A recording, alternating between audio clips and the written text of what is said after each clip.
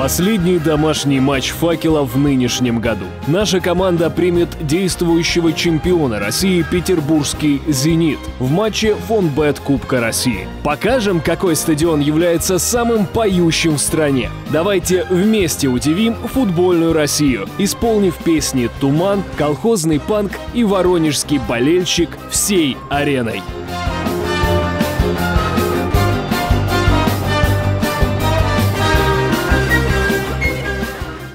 Из колхозной молодежи панковал один лишь я.